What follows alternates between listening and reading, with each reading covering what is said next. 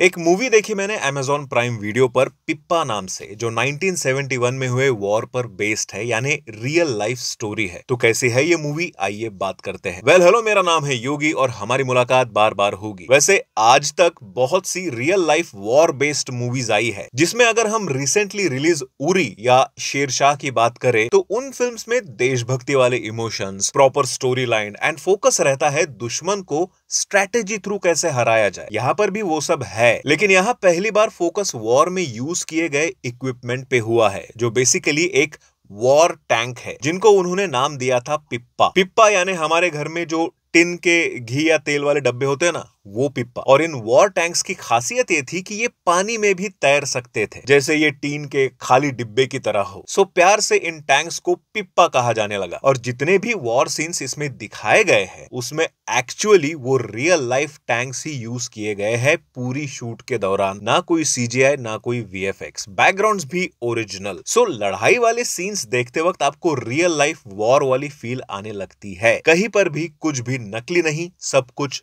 Real but जहाँ तक बात स्टोरी लाइन और एक्टिंग की करे तो एक्टिंग वाइज तो फिर भी ठीक है। सभी ने अपने अपने कैरेक्टर्स में जान डाल दी है। पर कैरेक्टर्स का सेटअप अच्छे से नहीं किया गया। या कह सकते हैं कि अगर इस फ़िल्म का नाम पिप्पा रखा गया है तो पिप्पा के बारे में थोड़ा डीप नॉलेज देना ज़रूरी था। जो कैरेक्टर ईशान ने प्ले किया है, उस कैरेक्टर के लिए पिप्पा उसकी जान क्यों है? ये जरा भी बताया नहीं गया। बस हमको अज्यूम कर लेना है कि हाँ पिप्पा है और ईशान, यानी कि बल्ली की जान उसमें बसती है। ऊपर से जितने भी आर्मी ऑफिसर्स दिखाए गए हैं, ईशान खट्टर उन सब में बस एक बच्चे की तरह दिख रहे थे। नो डाउट एक्टिंग बढ़िया थी उनकी, पर पर्सनैलिटी वाइज आई थिंक उनका कैरेक्टर किसी और एक्टर ने प्ले करना चाहिए था। बट एनीवेज फ़िल्म का सेकंड हाफ़ अच्छा खासा ग्रिपिंग है, क्योंकि वहाँ वॉर पर ज़्यादा फोकस होता है। But I don't know why मैं इस फ़िल्म के साथ इमोशनली कनेक्ट नहीं हो पाया। देशभक्ति वाला इमोशन और शायद मेकर्स को भी ये बात ध्यान में आ चुकी थी कि अपनी फ़िल्म को लोग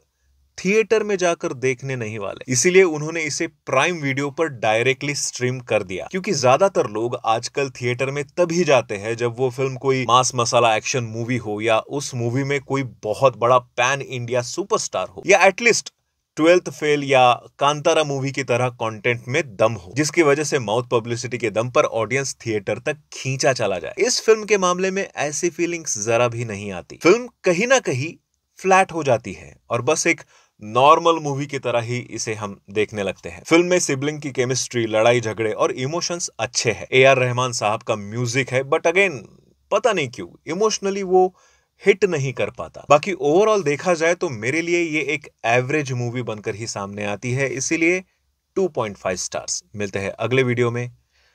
बाय